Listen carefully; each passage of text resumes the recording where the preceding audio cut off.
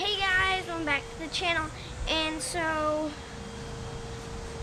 today or yesterday, my um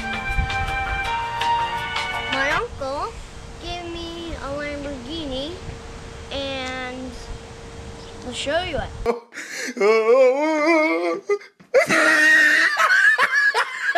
Wow.